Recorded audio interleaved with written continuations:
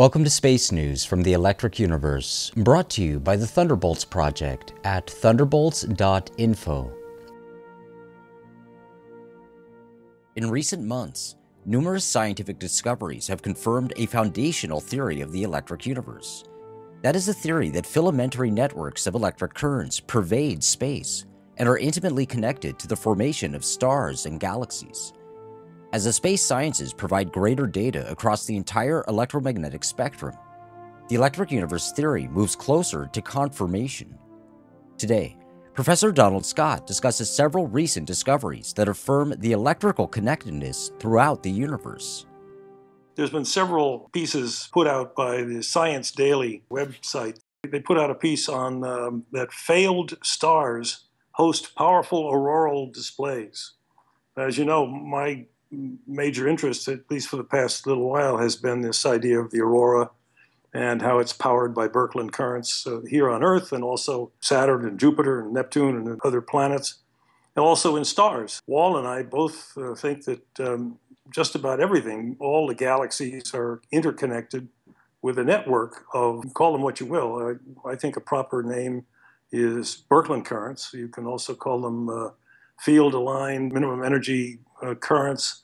Oh, there's another name for them is uh, magnetic flux ropes. There's all sorts of names for them. The fact that they are there is almost uh, indisputable now. And so uh, just the other day, they said the following by observing a brown dwarf 20 light years away using both radio and optical telescopes, astronomers have found that such so called failed stars, there's nothing failed about them, but that's we want to call them that, uh, host powerful auroras near their magnetic poles. Additional evidence that brown dwarfs are more like giant planets than small stars. Astronomers are, are very caught up with uh, categories and categorization. What, what category does this object belong in?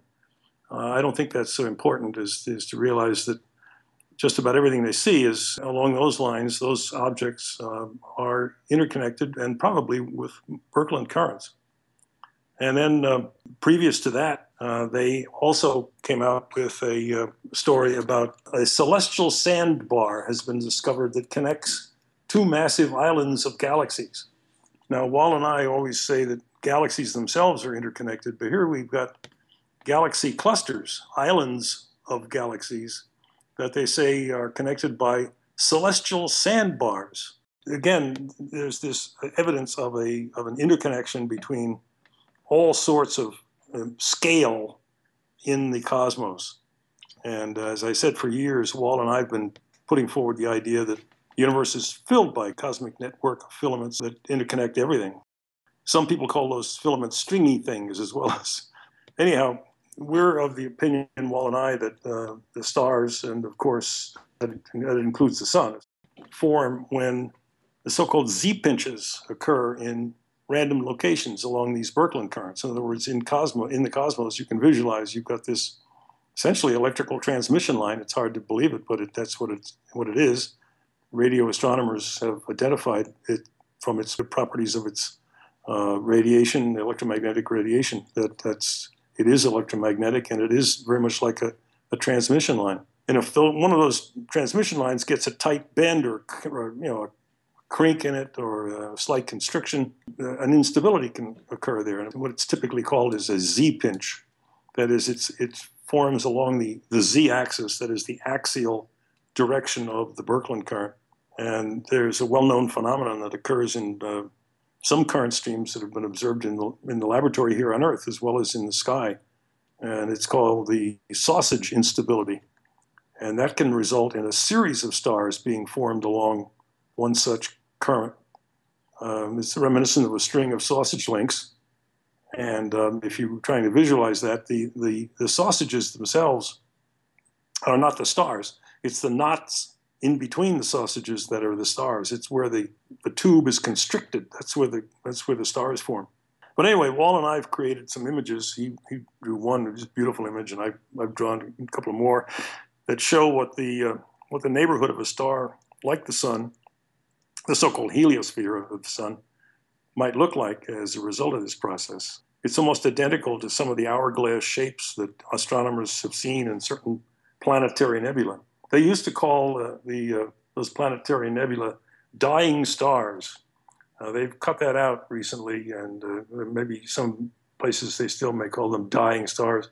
Now I've begun to hear them talking about the, actually the birth of stars, which is, of course, at least in Wal, in my opinion, quite correct. That's exactly what we're seeing in a Z-pinch, is the birth of a new object. It's an explosive, uh, that is to say, a violent reaction that throws off all sorts of uh, radio frequency, uh, light uh, energy, and uh, X-ray energy. Of course, whether or not any one of these uh, objects, these Z-pinches, are are visible in the sky depends on whether or not the Birkeland current that is making up these these objects is in the glow mode or the arc mode. So, of course, the whole thing may be invisible if the plasma is in the so-called dark mode. Uh, people should realize, I hope most people do by this time if they've listened to me long enough, my rants about uh, dark mode plasma. The, the, uh, the plasma that we all know is in the upper atmosphere of Earth is in dark mode. We can't see it unless of course it's, it is excited by a, a Birkeland current, and then we see an aurora. But typically, if it is not being excited by a Birkeland current, you can't see it. It's dark. You can bounce radio waves off it. So don't fool yourself. It's there. Anyway, the only thing we can see pretty much in our heliopause is the so-called ENA ring. The ENA is a, uh, an abbreviation for excited neutral atom and there was a NASA cooperative NASA and Lockheed Martin uh, program called IBEX, and IBEX IBEX stands for the Interstellar Boundary Explorer. So this was a program, a NASA program, to try to find out as much as they could that that envelope that surrounds our sun and all of it, all of its planets. And, you know, Voyager one, Voyager two are out there right now investigating, but also this IBEX mission has been looking at that area and they've discovered that indeed there is a ring. And if you look at the pictures that Wal and I have drawn of what we think that heliopause or heliosphere looks like, the heliopause is, of course, the outer skin of the of the heliosphere. If you take a look at that, you realize there is a, a ring there, a natural ring, kind of like the intersection between those two three-dimensional paraboloids, I guess you might say they look like.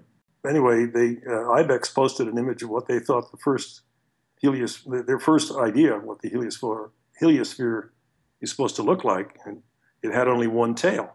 And I'm thinking to myself, well, you know, if, if Wal and I are right, and uh, this is the result of a of a pinch in a in a, a tube-like structure like a Birkeland current, then there ought to be two tails. I mean, you ought to be able to stand here in, on Earth or somewhere somewhere in the solar system and look up the, the, the pipe in one direction and then turn around and look in the opposite direction and look down the pipe in the other direction. So there ought to be two tails. And so when I took the, uh, this is of course artistic license, you might call it, or dishonesty. I, I hope it's not dishonest, but I took the uh, one of the IBEX uh, images and put a second tail on it.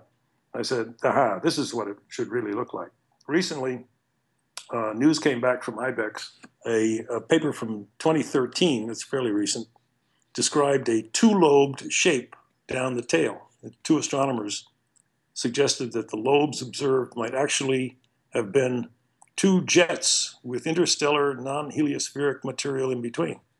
Well, you can call them jets if you want to. I think what it is is you're seeing the Birkeland currents extended, one single Birkeland current extended in both directions away from our heliosphere. But anyway, the IBEX uh, announcement said that these newly postulated jets look like baby versions of the superpowered jets that exist around exotic objects like black holes and pulsars. Well, of course, that's, that's, that's nonsense. But what they mean to say is they look like the jets that exist around planetary nebula, like, for example, uh, the uh, Minkowski 2-9 that is so, uh, so much, I, I call it uh, the, uh, the prototype, if you will, of all of these Z pinches. And it looks exactly like that. At least that, to my mind, that's what I think it's going to look like when they finally uh, realize what they've got. For continuous updates on space news from the electric universe, stay tuned to thunderbolts.info.